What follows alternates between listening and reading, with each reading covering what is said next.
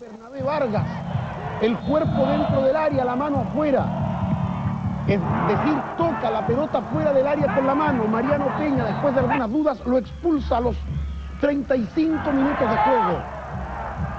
La U queda con 10 hombres frente a Santiago Morning. Pero esta U que está en racha, que lleva 18 fechas invicta y 9 triunfos consecutivos a través de Pablo Galdame, que inicia el festejo ante más de 10.000 espectadores en Santa Laura. Era el primer gol de la U.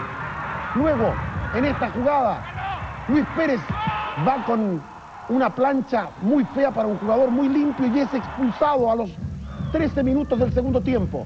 Quedan ambos con 10. Y aquí está el córner, que significa la aparición a los 38 del segundo tiempo del goleador del campeonato, Pedro González. Decimoquinto gol de González y es el 2 a 0. A los 40, el descuento tardío de los bohemios. Santiago Morning a través de Diego Rivarola para el 2 a 1 definitivo. Triunfo de la U.